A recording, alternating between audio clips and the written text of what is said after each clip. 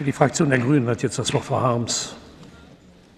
Ja, meine Damen und Herren, als ich mich gestern versucht habe, auf die Debatte vorzubereiten, bin ich noch mal durch die Zeitungen äh, durchgegangen, die ich äh, seit einer Woche aufgestapelt habe in meinem Büro.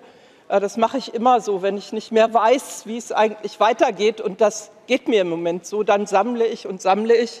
Und oben auf dem Stapel dieser Zeitungen der letzten Woche, da lag eine deutsche Zeitung mit dem Foto, dem Porträt eines griechischen Rentners, der weinend vor einem Geldautomaten zusammengebrochen war. Und es ist für mich jedenfalls das Foto, das bleibt äh, in Erinnerung an diese Woche. Und ich glaube, dass in diesem Foto eigentlich eingefangen worden ist, sowohl die Gründe, ja, die in Griechenland dazu geführt haben, dass 60 Prozent mit Nein gestimmt haben. Ich glaube aber, und das ist der Irrsinn dieser Situation, dass in diesem Foto auch viele der Gründe eingefangen worden sind von den Leuten, die mit Ja gestimmt haben weil die Abstimmung in Griechenland war eine Abstimmung darüber, dass die Verelendung eines großen Teils der Gesellschaft, und es ist keineswegs bisher die ganze Gesellschaft, eines großen Teils der Gesellschaft nicht mehr weitergehen kann. Die Abstimmung war aber auch eindeutig eine Abstimmung darüber, dass man Hoffnung auf Veränderung immer noch an die Europäische Union knüpft. Und das ist jetzt Ihre Aufgabe da denke ich eben auch, dass Sie in einer historischen Situation der stärkste Premier Griechenlands sind, jedenfalls in meiner eigenen Erinnerung, und dass Sie jetzt derjenige sein müssen, der Ihr Volk in eine ordentliche Reformperspektive führt. Das, was bisher nicht passiert ist und wo übrigens auch die Europäer eine Verantwortung haben. Dieses Reformprogramm der Troika, das macht doch das Wort Reform an sich zu etwas, wovor man nur zurückschrecken kann. Ja?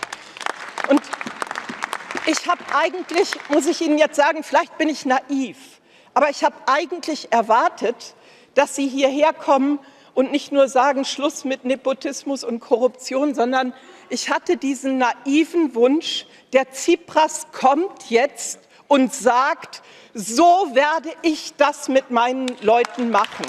So wird, so wird ein gerechtes Steuersystem aussehen.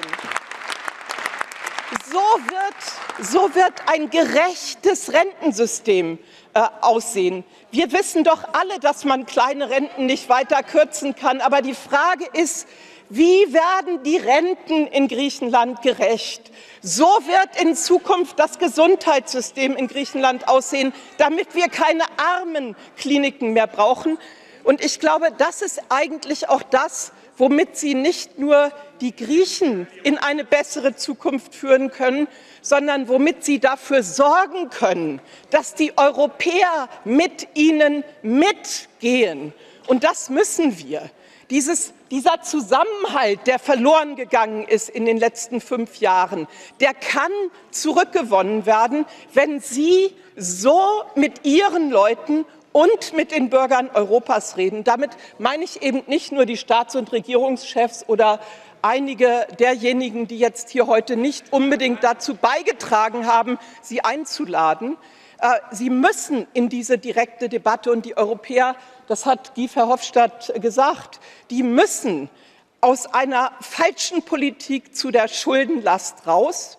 Und ich bin da eben auch genau der Meinung von Guy Verhofstadt, dass da eine Lösung gefunden werden muss, die nicht nur für die Griechen gebraucht wird, sondern die für andere Krisenländer gebraucht werden. Dann ist das nämlich auch gerecht und dann ist das auch europäisch.